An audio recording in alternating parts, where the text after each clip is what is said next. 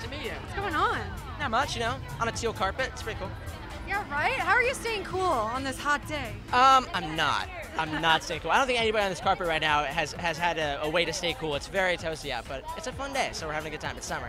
Yeah, it is definitely a fun day because at the end of this carpet there's a party bus, and I want to know what is your dream party bus?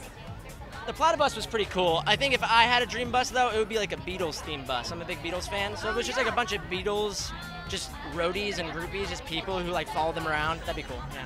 Would there be like video games in there It or wouldn't be music? the same. It would, it would not be the same as the Platybus. I guarantee you. I don't think there'd be a. There might be Beatles rock band, but about that's about it. I don't, I don't know any other Beatles video games, but yeah. And what's coming up for you?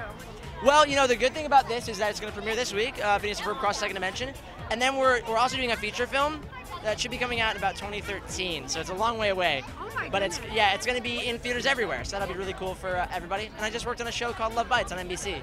So that was my most recent TV stint in live action. Yeah. And what's unique about this movie versus the TV show? Well, obviously, when you work with two 11 minute segments versus a two hour movie, you get the benefit of creating a much longer plot. And so that's that's the biggest difference I can say to people is that to watch this will be it, it'll be a completely different viewing experience for Phineas and Ferb fans. Yeah. Awesome. Well, thank you so much. It was so nice meeting you. Have fun in there.